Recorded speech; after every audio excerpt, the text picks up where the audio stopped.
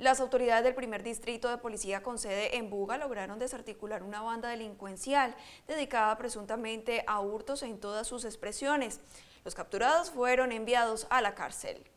Tal como se aprecia en este video de una cámara de seguridad ubicada en una estación de servicio en Buga, se aprecia como un hombre desciende de una motocicleta Bigwis de color blanca y procede con arma de fuego a atracar a las personas que se encontraban en ese momento en ese lugar. Gracias a este material visual, las autoridades del primer distrito con sede en Buga lograron desarticular una banda delincuencial conocida como Los Chinga, dedicada al hurto en todas sus modalidades. En el marco del plan choque cuarta fase construyendo seguridad, el comando del primer distrito de policía de Guadalajara de Buga quiere dar a conocer a la opinión pública que en las últimas horas fue desarticulada una banda dedicada al hurto de personas y en diferentes modalidades. Estas personas fueron judicializadas por el, por el delito de concierto para delinquir en concurso heterogéneo de los delitos de porte ilegal de armas y hurto agravado.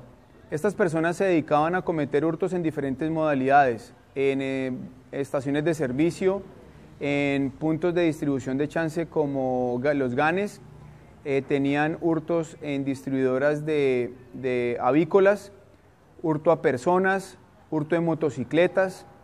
Los detenidos deberán responder por los delitos de concierto para delinquir agravado, en concurso con hurto calificado y porte ilegal de armas de fuego. Una de las principales preocupaciones que teníamos era la violencia con la que cometían estos hechos, ya que en muchas ocasiones las personas eh, colocan o ponen resistencia y es cuando se eh, presentan situaciones eh, fatales.